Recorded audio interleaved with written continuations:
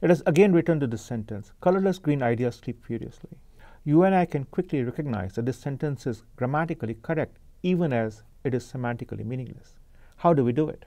Consider this mini grammar. This is a small subset of the English language grammar consisting of just three simple rules. This sentence can go into a noun phrase followed by a verb phrase. A noun phrase can be optional adjectives followed by a noun or a pronoun. The square bracket here means optional.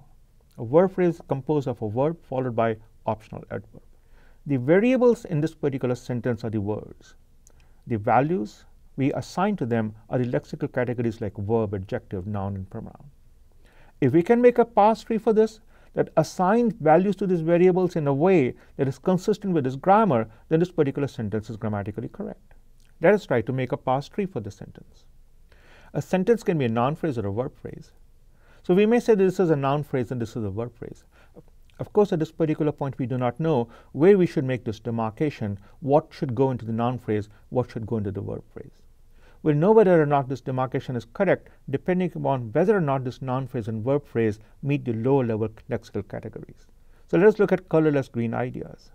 We know that a noun phrase can go into one or more adjectives followed by a noun or a pronoun. So we can look at a lexicon and know that ideas are a noun. So we say this is a noun. We can look at a lexicon that tells us that colorless and green are adjectives, and so colorless and green are adjectives here. We have satisfied this part of the constraint. Similarly, for the verb phrase, a verb phrase can be composed of a verb followed by one or more optional adverbs. We can look at a lexicon and sleep is a verb and furiously is an adverb.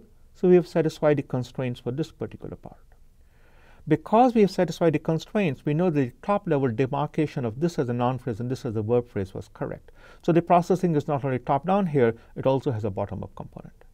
In this way, we are able to decide that this particular sentence is grammatically correct because it satisfies the constraints of a mini grammar. Note that we have used knowledge of constraints and the method of constraint propagation both for visual processing and for language processing. Thus, this method is very general purpose and domain independent. Once we have done constraint propagation to derive the parse tree for this sentence, then we can do additional processing. We can use this parse tree to support semantic analysis to build an understanding, a semantic understanding of the sentence. Similarly, in visual processing, once we have used the constraints for doing line labeling and recognize the surfaces and their orientations, we can then go on further and recognize the object in its 3D form.